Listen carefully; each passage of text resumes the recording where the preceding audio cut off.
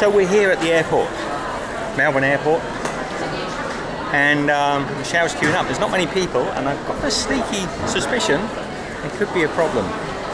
So uh, we will see. We booked a hotel there this evening, and until 30 minutes ago, I was- I was assuming we were getting on a flight. So it's really tricky for us. Is there is there any advice you can give us at all? I can't give you any further advice. Why they've told you that is one thing. What's happening is a completely different scenario. I've already explained it to you. I'm sorry, I can't keep repeating. No, I appreciate that. I'm sorry to, to trouble you. Maybe if you could just put yourself in our position for a minute. understand, but if I've given you the information, you now need to take that and decide what you're going to do. Either go to travel agent or book a hotel, or go downstairs to the. Yeah, I- I'm just making a, record for myself because we. I won't be discussing this. So we actually, so we've arrived here at Melbourne Airport with Tina, the lovely Tina, um, from Jetstar, who basically said, off and find your own hotel. Now I'll, I'll simplify that.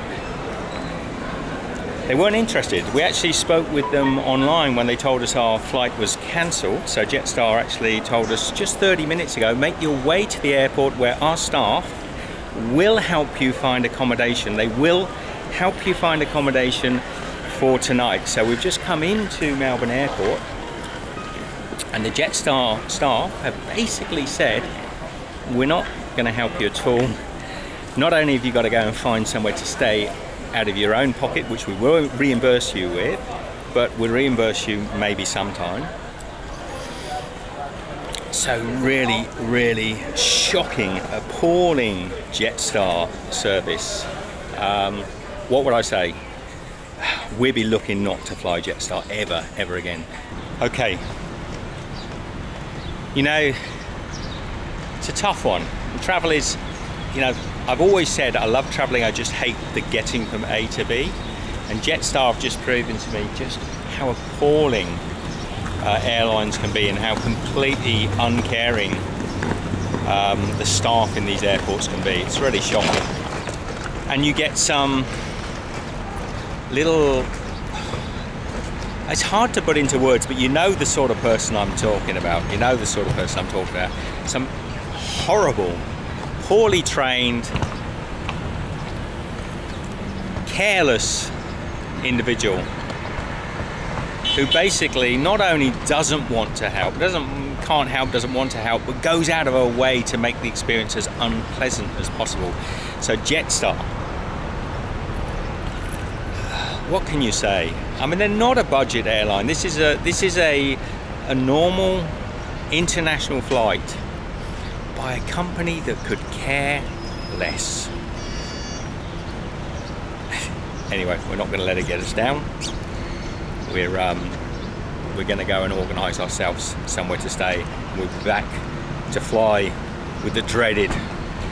I'm really not looking forward to it now because I'm thinking, well, if Jetstar are that bad on customer service, how are they going to be on their flights? Let's have a look, see if they can redeem one tiny, tiny morsel of human decency. I, I suspect not. I'm definitely going to call Jetstar out on this 100%. They really shouldn't, firstly, they shouldn't have staff working on a customer service basis that have such poor um, social interaction. Most people know me, I'm so easy, so easy to get along with, never going to really rock the boat, but my God, did this lady have an attitude before we even got there.